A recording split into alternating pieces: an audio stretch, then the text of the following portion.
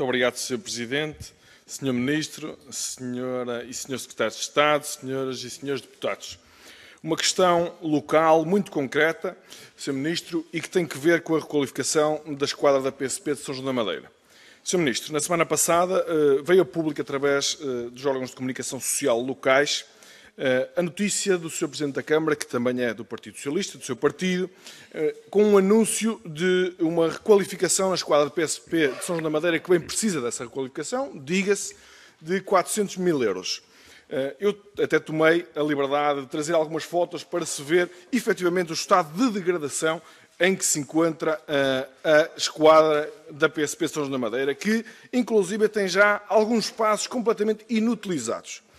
Por isso, muito bem o investimento, muito bem a requalificação da esquadra. Agora, a pergunta concreta que eu gostava aqui de colocar ao Sr. Ministro, mais do que os anúncios que já nos vem habituando do anterior Governo e do atual Governo, que anunciam um investimento público em massa, mas que depois, efetivamente, nada disso se concretiza, nada disso se efetiva, Sr. Ministro.